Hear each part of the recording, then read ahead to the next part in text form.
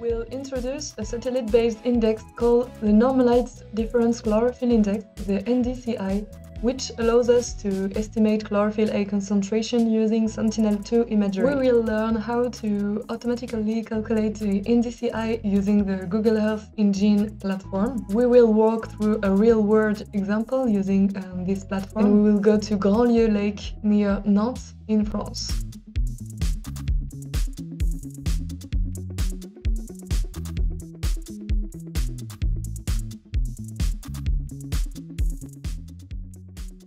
Their NDCI index is used to estimate chlorophyll concentration in turbid and productive waters. By leveraging satellite imagery, this index allows us to detect and monitor algae blooms over large areas with consistency and precision. So here you can see the NDCI and here you can see that after calibration with site-specific data, its predictive power improves significantly, yielding a much higher precision. Great, so now let's move into Google Earth Engine.